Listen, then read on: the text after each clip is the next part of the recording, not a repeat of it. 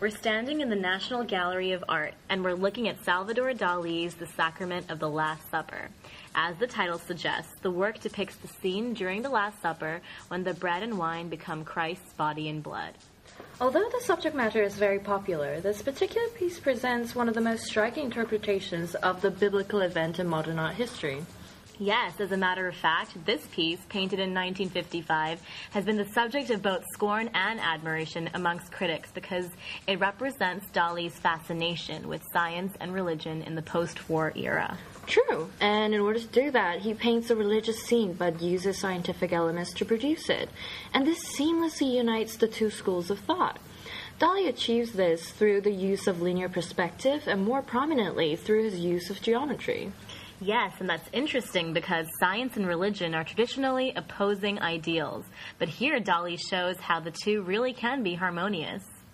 It's a really fascinating point. This idea really comes through Dali's use of the triangle, one of the most fundamental geometric shapes. Dali forms a triangle between the two pieces of the bread and the wine. There's also a triangle between Jesus and the two kneeling apostles. Another can be seen between the two hands of the floating torso and Christ.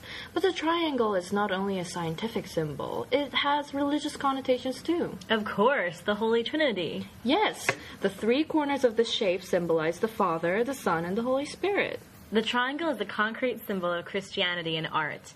The artist has reinforced this theme of science and religion through the repetition of the triangle.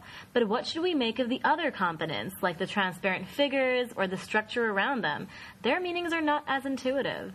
Hmm, I think they address an overall theme of religion and belief itself. Dali compels us to pose the question what is faith and what basis do we believe? And the painting itself provides us the answers. Look at the clouds. Dali is using a softer color palette, which corresponds to the painting's other ethereal qualities, like the torso that floats above them. These lighter hues give the work a fluffier, airier feel, with the use of blues, whites, and tans. You're right. He also uses smooth brushstrokes and refrains from adding painterly textures. Think about the texture of Van Gogh's painting. Thick layers of paint usually reminds the viewer that the painting is actually a painting, but Dali purposefully rids the painting of its self-awareness. And that, I think, mirrors the nature of faith itself.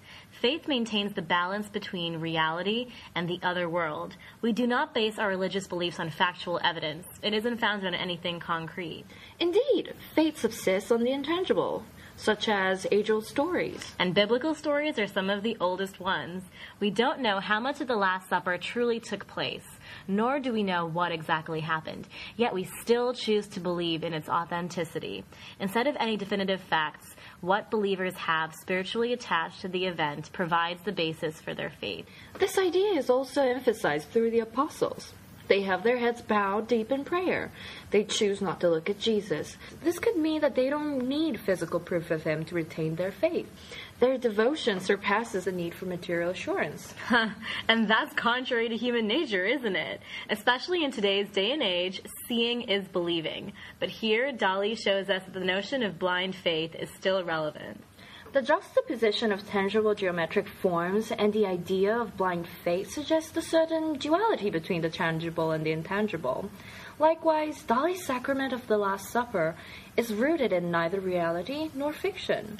Such as the architecture that encases them, that too has a translucent quality. Precisely. It really dissolves into the background, doesn't it?